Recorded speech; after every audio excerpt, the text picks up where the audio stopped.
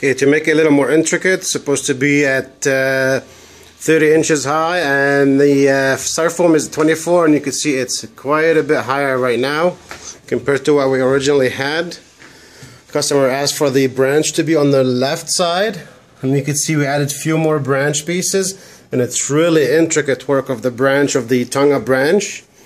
You got holes and crevices all over the uh, rock and I just decided to put a little piece of shelf here just to give it a little bit of a just different look to it. It could be placed here, it could be placed up here, could be placed anywhere else besides where it's already here.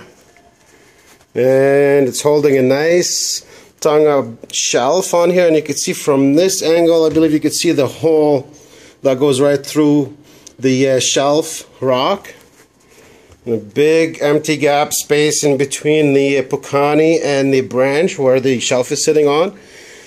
You got a nice two pieces of uh, sitting up high here, roughly hitting just at 22, maybe 23 inches at height.